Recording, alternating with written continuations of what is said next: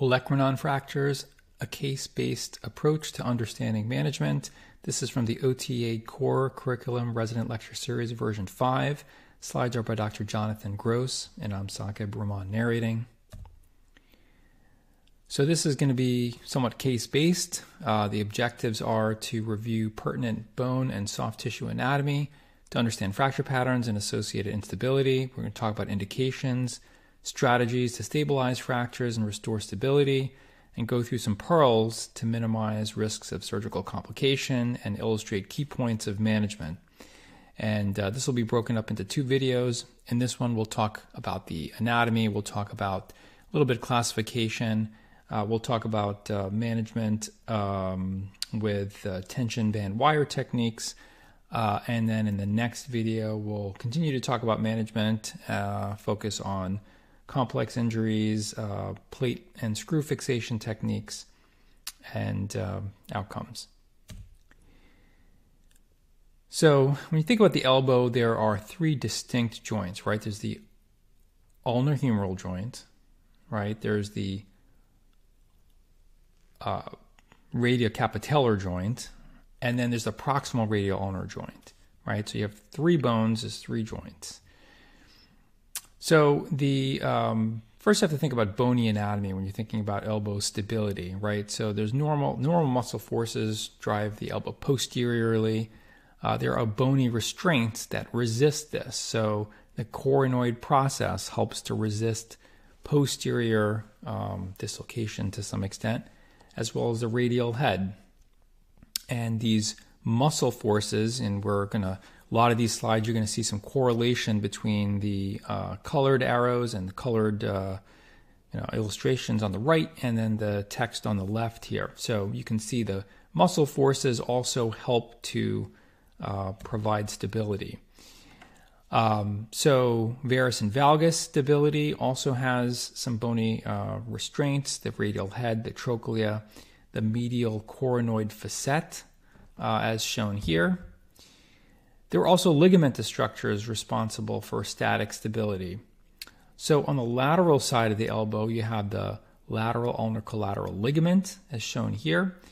Uh, medially, you have the anterior band of the MCL.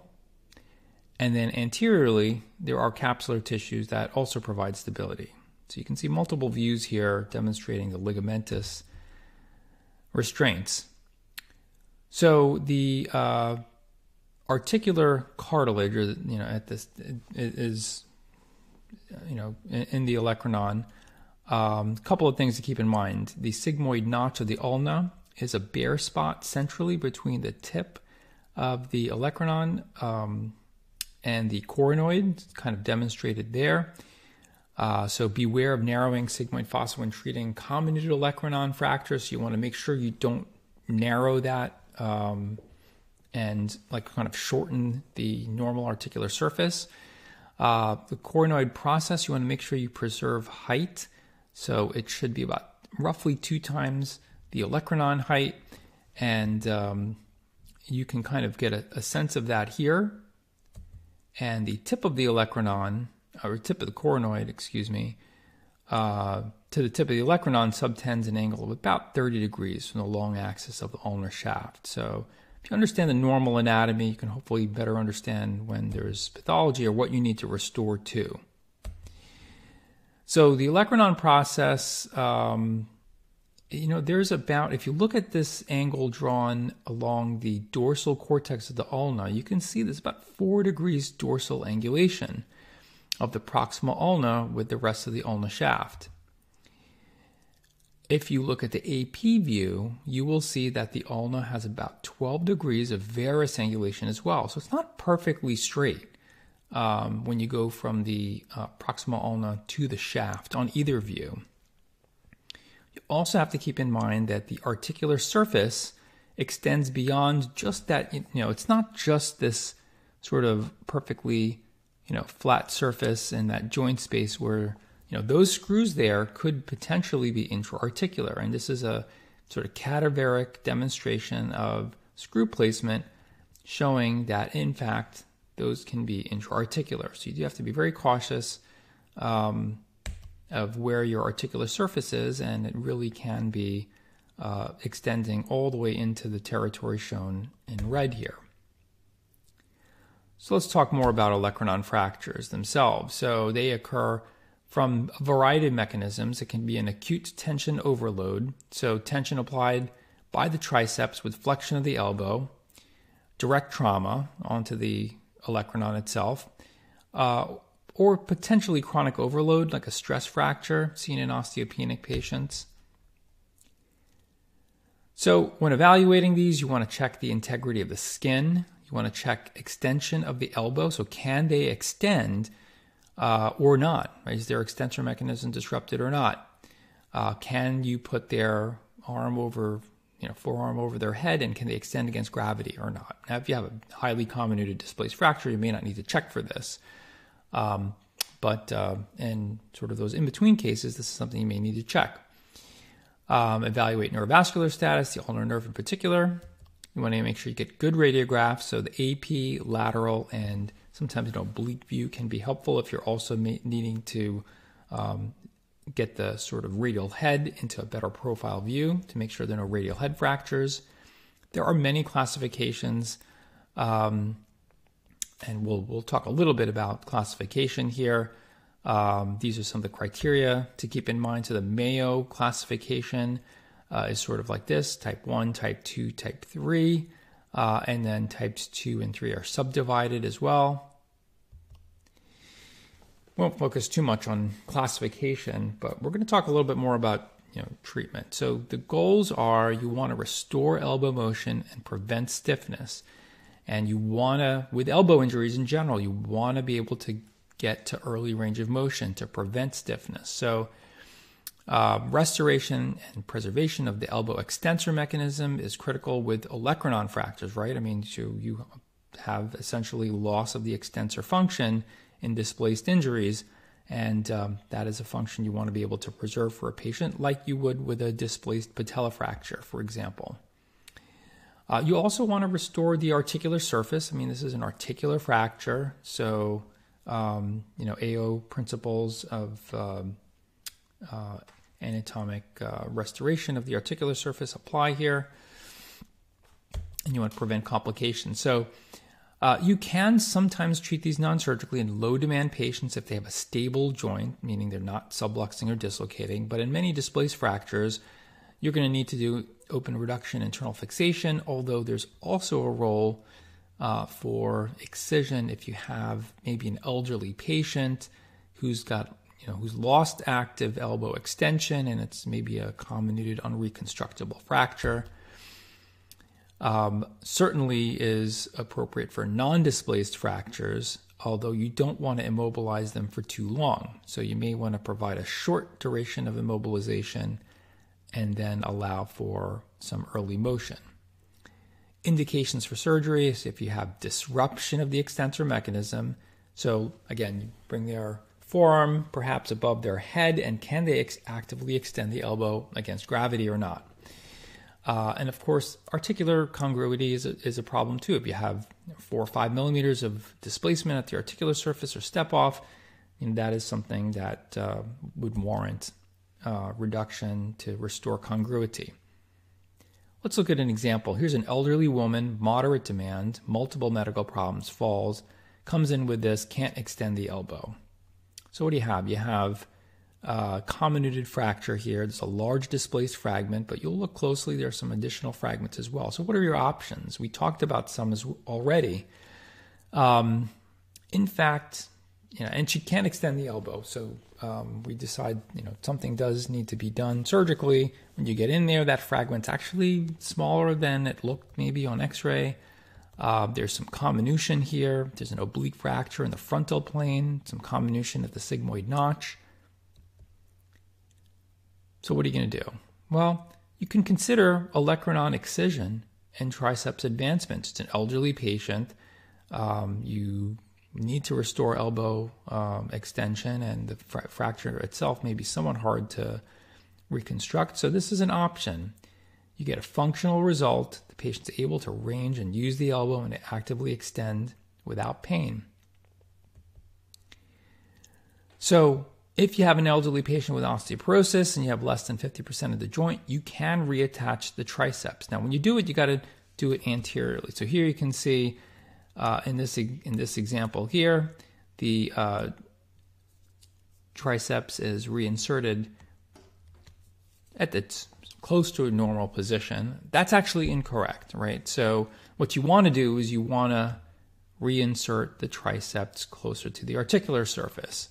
Um, so that is, if you're going to do this, that's how you would want to accomplish your um, repair. Uh, so the pearl is to advance that tendon anteriorly adjacent to the distal humeral articular surface.